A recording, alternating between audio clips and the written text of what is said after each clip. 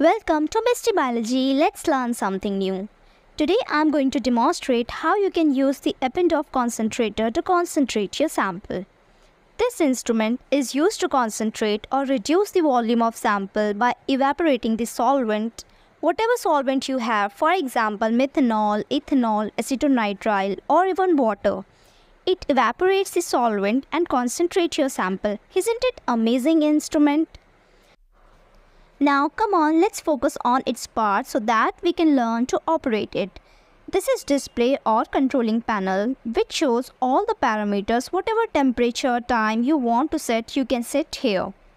This is the container where all the solvents collect after evaporation. This pipe connects this basic device to the external pump. You can clean this container by removing the solvent from this. Now let's see how it is used. First, switch on the instrument which is just situated lower left side of the instrument. You can see green light is present in the lid side. Always keep in mind that you should open the concentrator whenever green light is blinking in the lid side.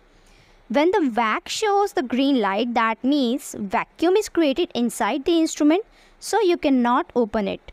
Always wait for the light to come on the lid side. Inside, you can see a rotor where multiple MCTs can be placed. Always keep your MCTs open, otherwise solvents cannot evaporate and your sample cannot get concentrated.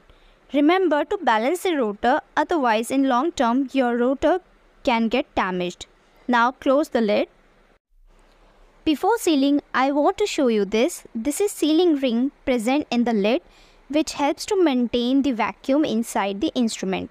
Now come to controlling panel or the display of this instrument.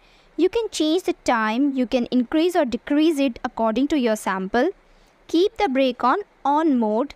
Now for the temperature you have 45 degree, 30 degree, 60 degree and room temperature option. Here the two lines shows room temperature. Different modes are available depending on your sample. You can change the mode. For instance, I keep it here at VAQ mode. Now press the start button. When the concentration time is over, remove the MCTs after closing the lid of these MCTs. Here you can see the solvent has evaporated and my compound is present in the bottom of the tube. It might not be visible for you. Anyways, this is how you can concentrate your sample using this instrument. Thanks for watching.